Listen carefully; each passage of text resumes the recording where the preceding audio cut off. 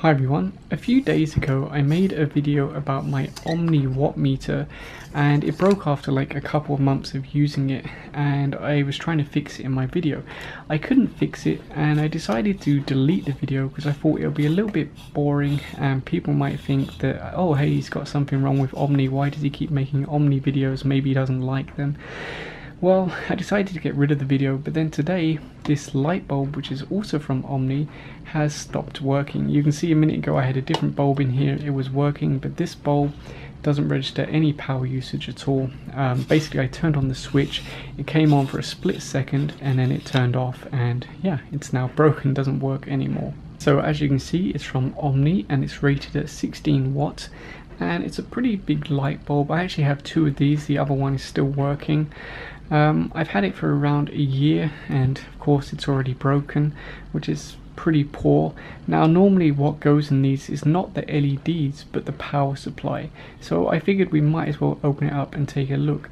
Now of course they normally use like so much glue on these that they're pretty much impossible to open without damaging um, so this will be a destructive teardown. So I open it up with a little bit of brute force and you can see it's got a big LED panel and this is what the strip looks like. It's got some thermal paste on the back to join up to this metal plate here for extra cooling. So that seems like a pretty reasonable solution, although we don't know how thick this metal plate is at the moment. And of course all the heat is still contained inside the lamp because there's no air holes to let the heat escape. And here we go with a bit of brute force, I was able to remove this plate. So here's the power supply, and although it smells a bit hot, it doesn't smell burny and I can't immediately see any damaged components. Um, but one thing we should do is check the LED strip to see if any of the LEDs can come on. Now I did try and put a voltage here and although it drew a lot of power it wasn't able to light up.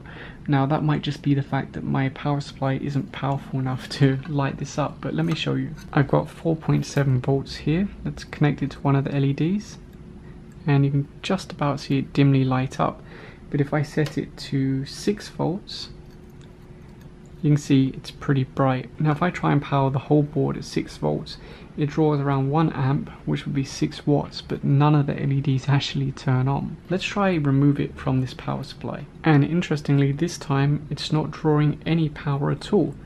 So previously, we must have been pushing power into the power supply instead of into this LED module. So I'm not exactly sure what's gone wrong, but this LED module just isn't drawing any power at all now and the only way to get it to take power is to individually try and light an LED.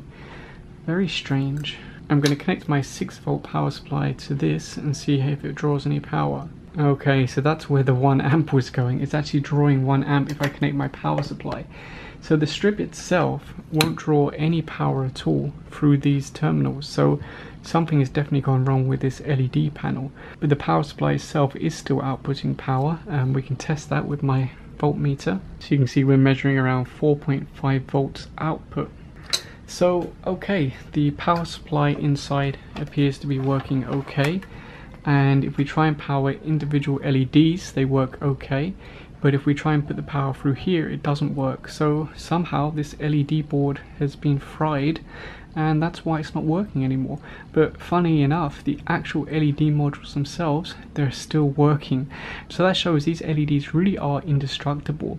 But how you make your design and the kind of board you make will determine whether or not the product lasts. Um, so yeah, that was just a quick video. I don't know if it'll be interesting to anyone, but this is a Omni light bulb and it lasted for around a year. So if you have any questions, put it in the comment section down below. And if you enjoyed this video, please give a thumbs up and subscribe. Thanks for watching.